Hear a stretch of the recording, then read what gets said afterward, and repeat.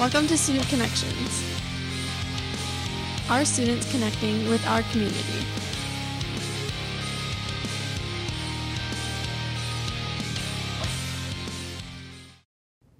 St. Clair County has 621 service members who have died in service of their country since World War I.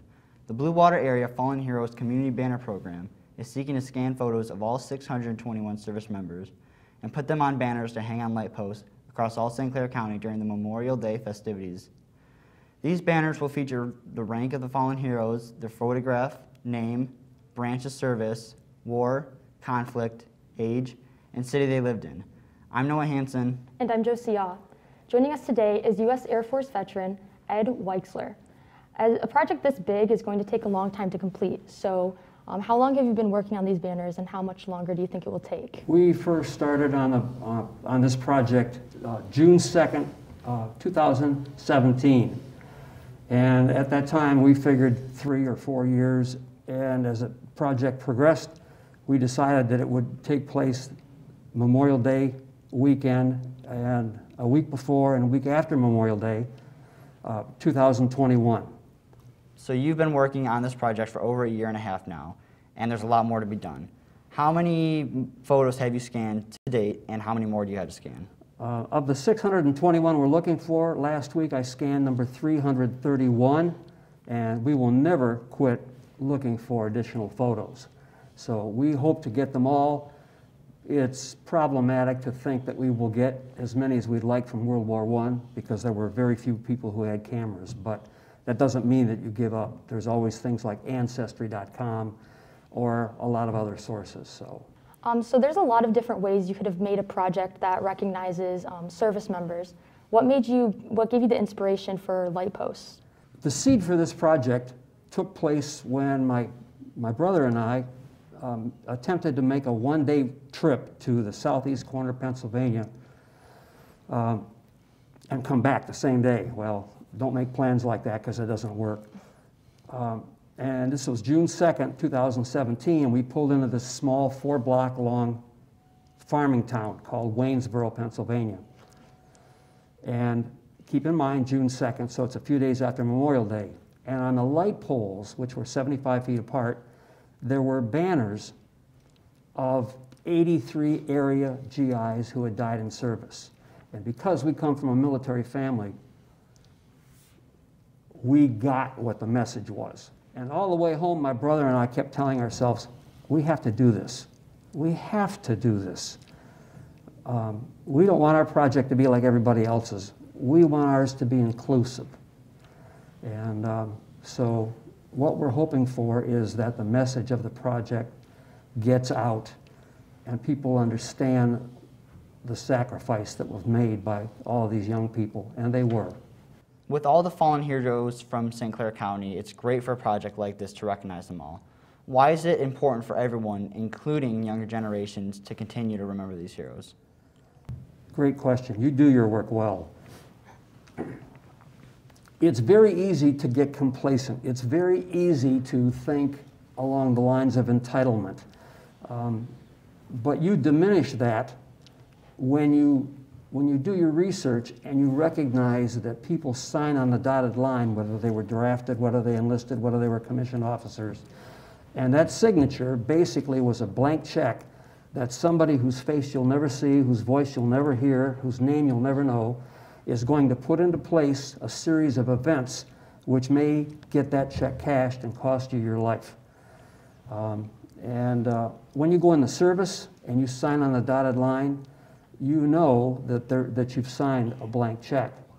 Um, but you do that for love of country and uh, the freedoms that we all enjoy. And that's the, that's the lesson to be learned from this. Yeah, that's great. I think it's a great, great idea for that. Um, could you give us an idea of what the banners look like? Uh, I could do better than an idea. Um, if I have enough cable here.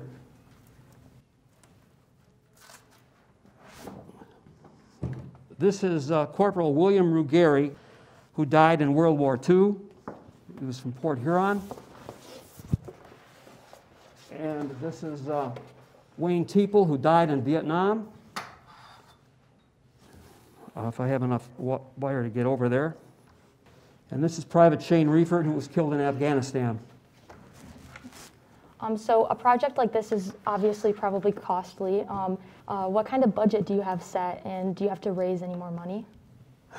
Because of COVID 19 and some other challenges, we have not been able to do fundraisers, um, but we've had people um, who have done significant fundraising for the project. Uh, I would be remiss if I did not mention to you um, in February of 2019, uh, my partner at that time was uh, the St. Clair County uh, Veterans Affairs Office.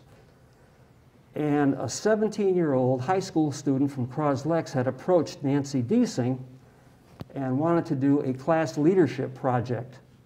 But because she came from a military family, she wanted it to be something related to militaries and families. And um, Nancy said in passing, well, we're doing this banner project, but we're just now getting it off the ground, and you know, it's going to be three or four years before, before you know, it becomes a reality. And that was the end of the conversation. And in one night in February of 2019, Riley Black, a 17 year old senior, raised $5,500 for this project. Um, and that told us we're not the only ones who get this project. And then there's been two major fundraisers that we had virtually nothing to do with that came from Kiewit, uh, who's the contractor for uh, the new DTE power plant in, um, uh, I think it's East China Township. Uh, the skilled tradesmen had raised on two different occasions over $2,200, $2,300, and DTE had matched it uh, both times. That put us up to about $15,000 total. And then uh, over the last year, year and a half, we've had additional monies come in.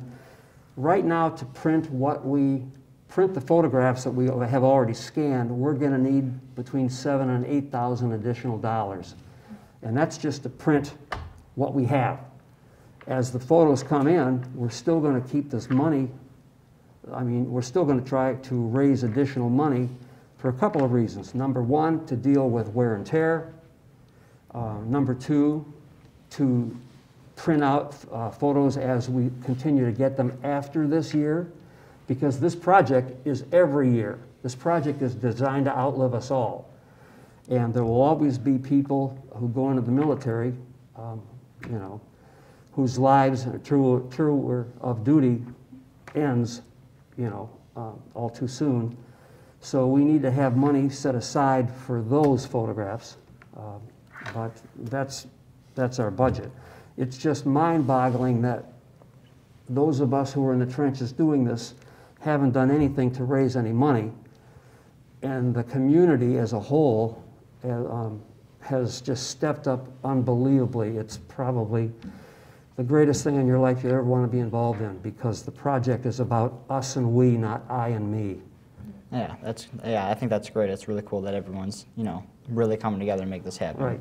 So there are over 600 families that you have to you know like you to be able to get to. Do you think that you'll be able to eventually find a photo and get a banner for everyone? Think? No. Hope? Yes. There, there's, there's always hope. Um, and when you sit down, when you sit down with a family and you're scanning a photograph and they tell you with tears in their eyes, you know you're the first person outside of this family who's mentioned that name in decades. Decades. This is powerful stuff. And it reflects on all of us. St. Clair County has many different cities um, in the area. Are there, is there a plan to um, put up the banners near the families? That's the only place that the banners will fly. Um, such as Shane Reeford's will be in Cottrellville Township every single year. Um, and the idea is to get the people in that community to associate that face with that name.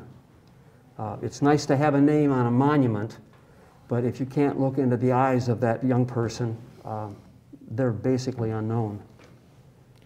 Yeah. So it's great that the banners will be up for Memorial Day. When will they, you know, be put up, and then how long will they stay up? And do you plan to do this, like you said, for every year?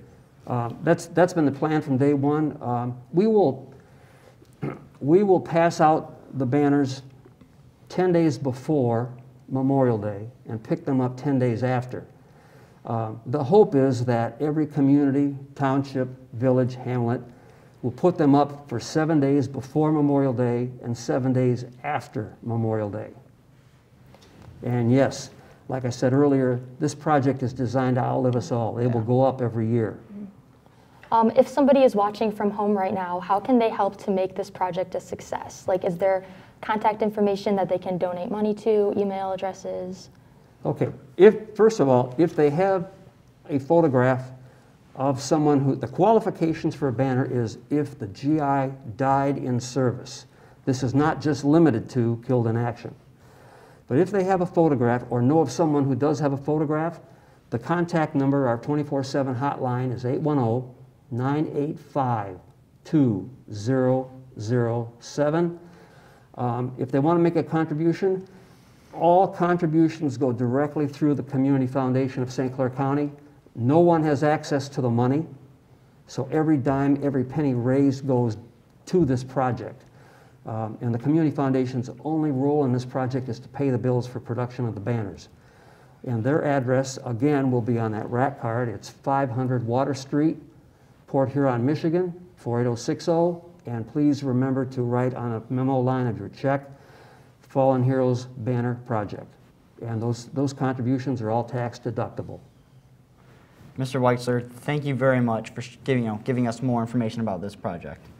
We hope that everyone watching will appreciate seeing the Fallen Heroes banners in May. We also hope the folks consider helping the group reach their goal by either spreading the word or making a small donation.